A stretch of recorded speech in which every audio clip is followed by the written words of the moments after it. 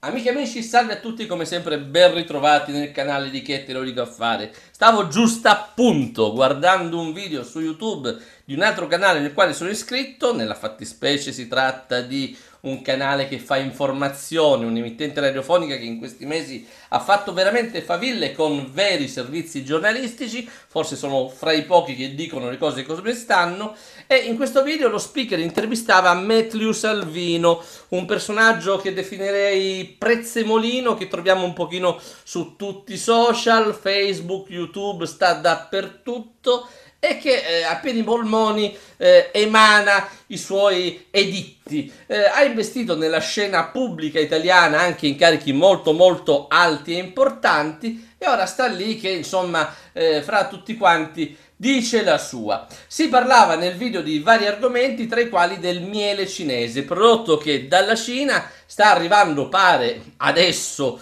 eh, in Italia e eh, la cosa che sta... Mh, mm, suscitando eh, l'attenzione è dovuta al fatto che non si tratta di un miele prodotto dalle api ma semplicemente dall'uomo, ovvero tramite la miscelazione di alcuni sciroppi e zuccheri, gli danno una shakerata, lo mettono eh, in, una, in un flacone, in una bottiglia e poi insomma te lo ritrovi al supermercato. Per chi mi conosce eh, è già nota la notizia che io da qualche tempo mi trovo nella penisola iberica e devo dire che questo prodotto già lo conosco almeno da un paio d'anni. Tant'è che circa due anni fa, durante una delle mie tante incursioni nel supermercato facendo la normalissima spesa eh, settimanale, eh, passando proprio per il reparto dolcificanti, miele, eh, zucchero e compagnia bella, e soprattutto Nutella, ehm, ecco, ho messo nel carrello questo coso qua, vedete, l'ho anche aperto. Ehm, è in tutto e per tutto simile a un vasetto di miele, che è questo qui sulla sinistra, però eh, quello che mi ha spinto a metterlo nel carrello, così passando e buttando proprio eh, un occhio, è stato il prezzo, perché mentre il miele, miele ora, passatemela, mentre il miele che normalmente compro eh, costa circa 4 euro, dici ma che schifo di miele ti compri, questo c'è ragazzi, questo mi posso permettere, questo qua costava attorno ai 2,50 euro. Ora mi lapiderete, dice, ma sei un cretino, con 2,50 euro che cosa pensavi di trovare? Eh, sono stato ingenuo, ok? Ho sbagliato, non lo faccio più. L'ho fatto una volta e non lo faccio più. Eh, chiedo scusa. Comunque sia, e non compro più nemmeno questo, d'accordo?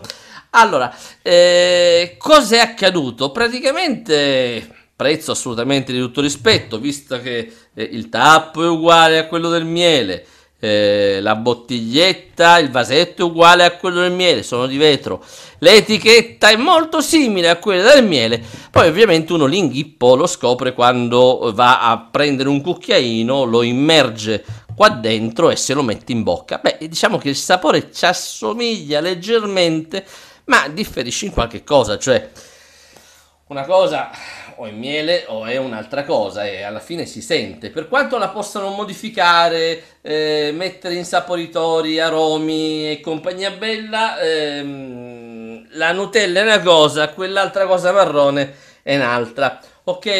E allora, eh, qui che cosa è accaduto? Che mh, mm, scoperto l'inghippo ho detto andiamo a vedere che cavolo ho comprato.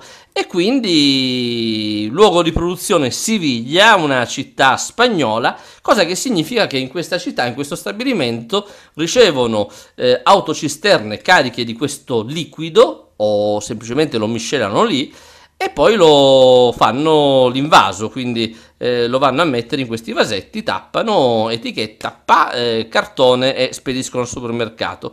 Tra gli ingredienti, cosa interessante, troviamo semplicemente, non c'è altro, sciroppo di glucosio, fruttosio e miele. Ora, gli ingredienti dobbiamo dire subito che sono ehm, elencati in ordine di quantità, quindi si suppone che lo sciroppo di glucosio sia la stragrande maggioranza di ciò che c'è qua dentro. Il fruttosio, stesso discorso, sarà meno. Il miele può essere una goccia nel mare, capitemi? Cioè, eh, la quantità di miele non è assolutamente comparabile agli altri due eh, ingredienti che sono stati elencati in precedenza. Può essere una goccia, può essere mezza goccia, può essere semplicemente l'odore del miele. Comunque loro hanno la facoltà di eh, poterlo riportare perché ci hanno messo una goccia. Poi questo qua ovviamente un, eh, un chilo non è miele, è un'altra cosa, sarà uno sciroppo di vari zuccheri. Per eh, nobilitare un pochino la situazione, dopo aver scritto sciroppo di glucosio, che magari molti possono storcere il naso quando leggono sciroppo di glucosio, ma che cos'è questa cosa chimica, questa porcheria? Allora, il glucosio è semplicemente uno zucchero semplice ed è uno dei due componenti dello zucchero che tutti quanti abbiamo in casa, ovvero lo zucchero bianco che mettiamo nella tazzina di caffè. Lo zucchero bianco che mettiamo nella tazzina di caffè è l'unione tra sciroppo di glucosio e fruttosio, quindi due zuccheri semplici uniti. In questa etichetta, curiosamente, ci troviamo sciroppo di glucosio che sarà eh, 999,9 grammi, poi fruttosio che sono 4 eh, cristallini di zucchero bianco messi là, che al loro interno ovviamente contengono la molecola di glucosio e la molecola di fruttosio, quindi ci entra, e poi l'odore del miele. Così hanno fatto questo prodotto. Non si parla di coloranti e aromi, per cui eh, nella mia immensa ingenuità voglio pensare che la colorazione si ottenga tramite caramellizzazione, ovvero eh, riscaldano lo sciroppo eh, fino al punto che questo qua si eh, diventa più scuro, si ehm, tende a, eh, ad assumere un colore ambrato. Questo lo potete fare semplicemente con lo, mm, lo, zucchero bianco, lo mettete in un pentolino con un po' d'acqua, quando lo andate a riscaldare si scioglierà e man mano che l'acqua evapora eh, quello che resta resta di questo colore. Quindi è plausibile che eh, questa colorazione molto simile al vasetto di miele si ottenga in questa maniera. Del resto potrebbe essere anche una maniera economica e non troppo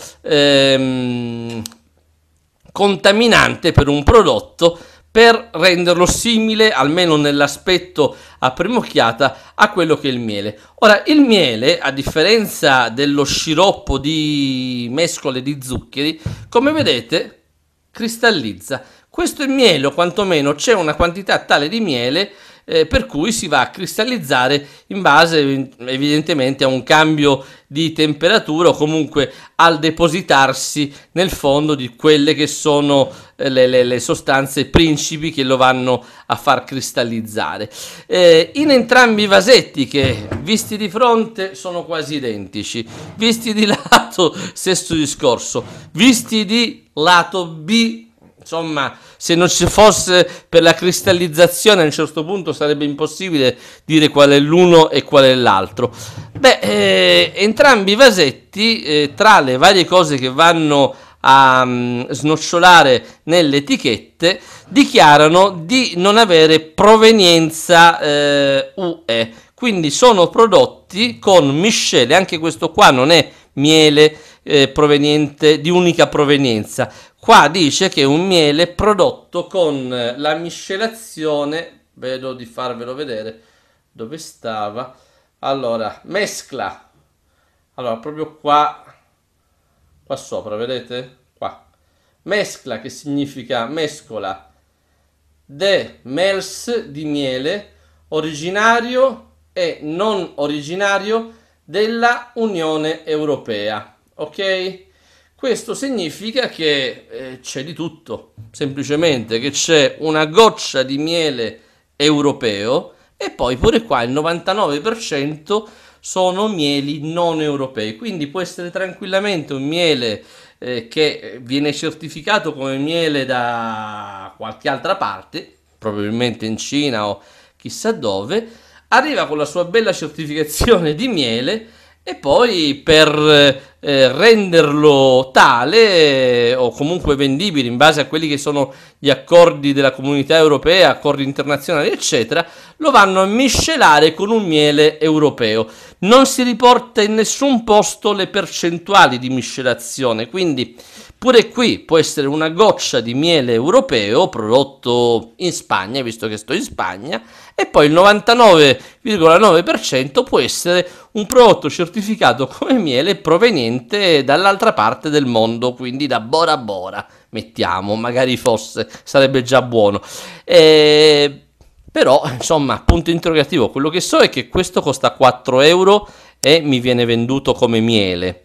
Questo qua costa 2,50 euro e nel momento in cui io passo dal corridoio del supermercato lo vedo tale quale, senza stare lì a guardare le etichette, e eh, lo prendo e me lo metto nel carrello. Poi c'è chi è avvezzo a comprendere anche il sapore di, di cosa mangia, c'è tanta gente invece che semplicemente butta dentro fino insomma alla YouTube anche io per dirne uno e poi insomma butta fuori. In questo processo non si rende conto di nulla.